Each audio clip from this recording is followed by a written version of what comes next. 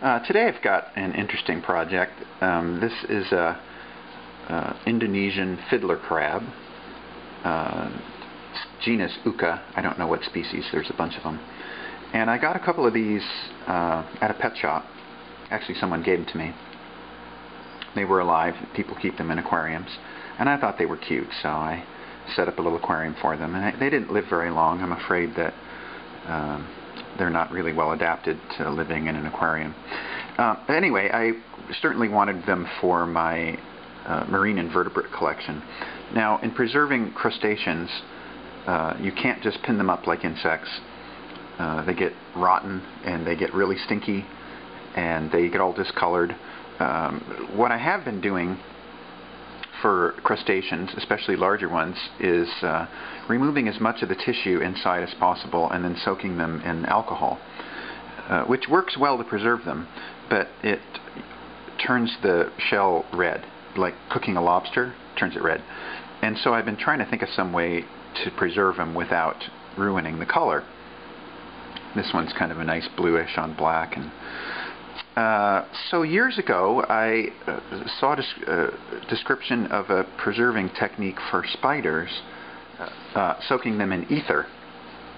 So I thought, oh, I'll just get some ether. Well, you can't buy ether; it's a restricted substance. So I thought about it for years, and I, you know, I do automobile work. I have vintage Volkswagens, and I've always got a can of starting fluid around, which is what you can use to start a car if you're working on it. And uh, I realized that the starting fluid is ether. So I thought, well, I can give this a try. So I had a can of starting fluid, and uh, this stuff is uh, very flammable and very toxic. And the, I had lost the, the spray tip on this one. So I turned it upside down in a jar and released all of the propellant. Um, since the tube goes up to the top um, it just let all the propellant out. And once it was completely uh, discharged from repellent, I just took a screwdriver and punched a hole in it here and drained the fluid out. Um, and it worked really well. I actually have already done this other crab with with the ether soak, and it came out really well. Now, the, this is a aerosol can. It's got a propellant. It's toxic. It's flammable. This is not something you should do lightly. You should be careful about this there was only a, a, little bit left in this can anyway uh, when I did this. So whatever you do, be careful with this. Don't don't be foolish. All right. So when I'm preserving uh, larger crustaceans, I try to take as much meat out as possible, and you can actually lift the top off of this uh, crabs, and I'm going to show you how to do that, and then we're going to soak it in uh, ether, and uh, we'll see how it comes out. Now I'm allergic to bugs, I can't eat them, and uh, their body fluids are I have a strong allergic reaction to. And so, especially when I'm working on crustaceans like this, where I'm getting exposed to the body fluids, I wear gloves. Uh, it's also good to have these on if you're working with solvents, acetone or ether or something like that, to protect your skin from that. So I use a, an X-Acto knife, and um, the uh, whole top part of a crab will come off. if you've ever been to beach, uh, ocean where there's crabs, you can see um, their shells when they molt. You can see the top part all comes off in one piece. So I'll get this X-Acto knife underneath this top part and between the legs, and I can just go around like this. There's just a thin membrane that holds that together, and it should come off real easily. Uh, yep, there it goes. You can lift that up. Now, you can see at least some of the gut in there. You can't um, get the muscles out of the legs because they're much too small. So I'll use tweezers and just reach in there and pull out as much of the guts as I can. See, there's some crab guts.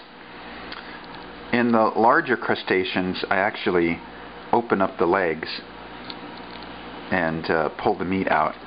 There's a sort of triangle shaped membrane in the joint of the leg right in where it flexes and you can cut that out and then get tweezers and reach up inside and pull the leg meat out which if you're trying to preserve anything large like that, it's important to get as much of the tissue out as possible. Uh, crustaceans, when they get rotten, boy oh boy, they just reek. Okay. I just took the whole piece right off. Tweezers in here and see what I can pull out. There's some gills in here. Yep, here they are. Pull the gills off. Just kind of, you know, clean it out as best you can. There's a little chamber here I'm opening up. Get as much of this tissue out of there as I can. This side too. Just break that open and get it out. Uh, now what I'm going to do is I'm going to take this over to a sink and uh, run some water in here and that will um, rinse all of this out. I'm going to do that right now. There you can see that cleaned up really nicely. Now this great big claw has got some meat in it and uh, I want to clean that out. And so what I'm going to do is I'm going to pull this segment here off. And I can just take the X-Acto knife and stick it in and cut the little ligaments that are holding that in. This is much easier on a larger crab or lobster. Uh, if I just give that a tug, there I can pull it right out. See, there's a bunch of meat. Get rid of all of that. Just going to take the X-Acto knife and just kind of scrape that off. Yeah.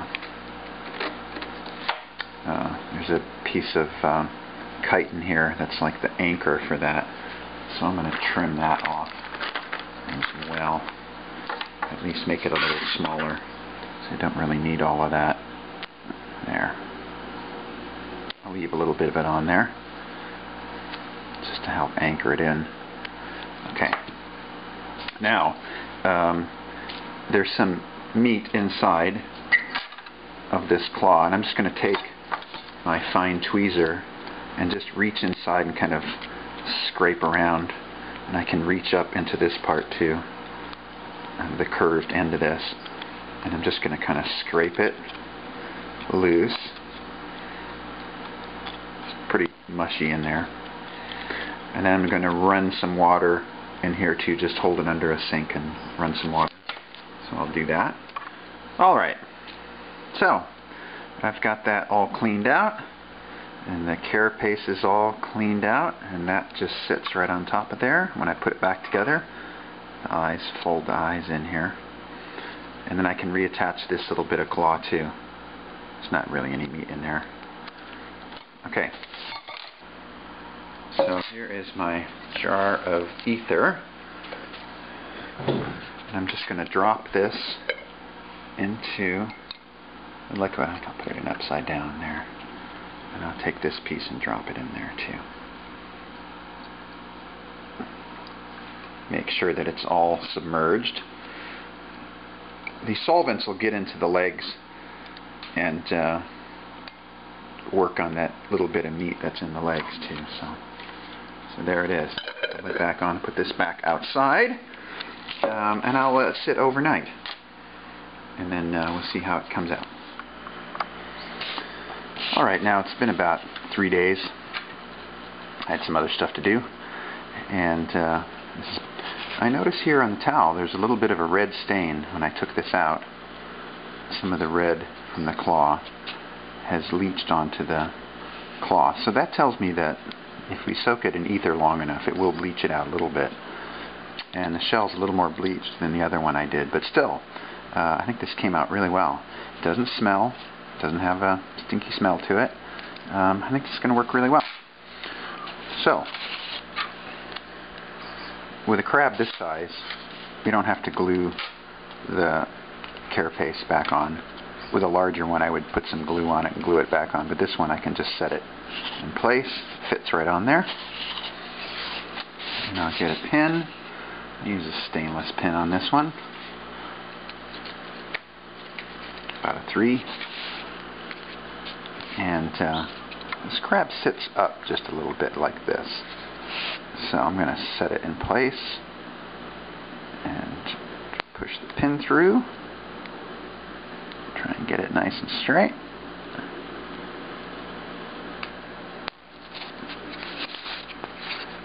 Yeah, that looks good. And then uh, we have to put this pincer back into the claw, but that's not hard to do. There's a little uh, bumps on it. It should just kind of snap into place. Get it in there right. There. Yep, see? It snaps right in. and uh, I'll move it over a little bit. And then we'll just get some pins and position the legs.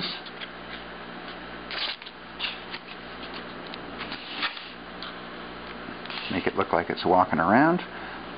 And again, the little tips of the feet have little claws, so we can just stick that into the styrofoam, help hold, hold it in place. Like that.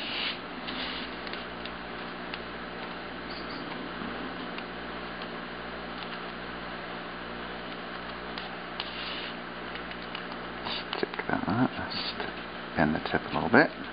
There. Stick that in. This one in. Sort of lined up. Move this one forward a little bit.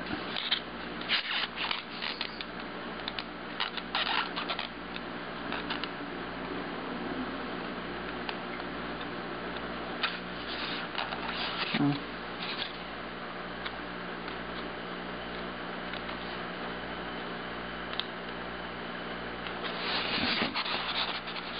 Oh, that looks pretty good.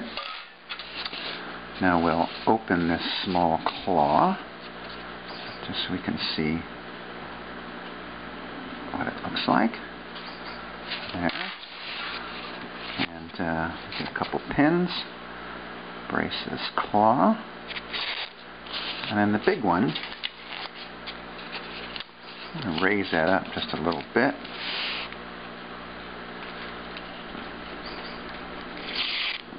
Now, And we'll raise the claw up a little bit too.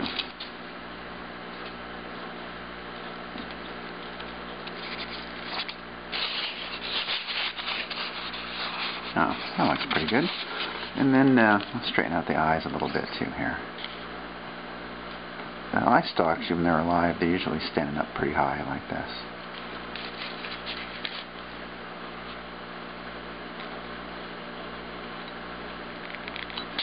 There. Maybe uh, reposition the legs a little bit.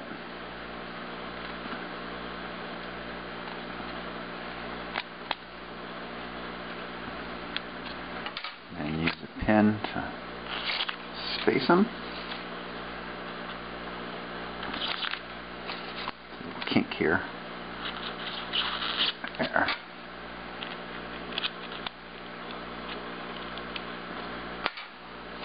Put a pin over here. Straighten that one out a little bit.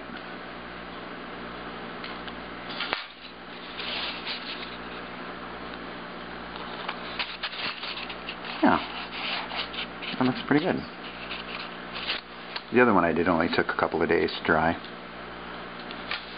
Move this eye a little bit.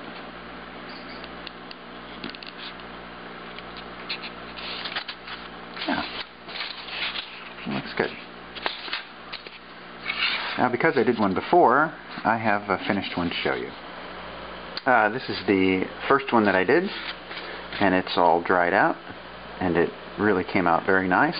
Uh, doesn't have any smell. Uh, kept most of the color. Uh, it's much better than if I had soaked it in acetone or alcohol. Uh, I'm really excited about this new process. I think it's going to be very useful. Now I have a collection of small crabs here in my teaching collection, and I do have a place for the fiddler crab. So I'm going to put it right over here.